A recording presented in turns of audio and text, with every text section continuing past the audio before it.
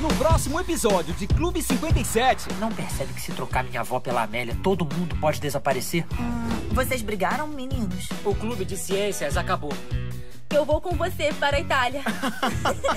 Não perdem por esperar. Seria mais fácil te ajudar se me dissesse o que estamos procurando. Alguma pista que nos ajude a descobrir quem é o traidor dos Guardiões do Tempo. Clube 57. Amanhã, 7 da noite.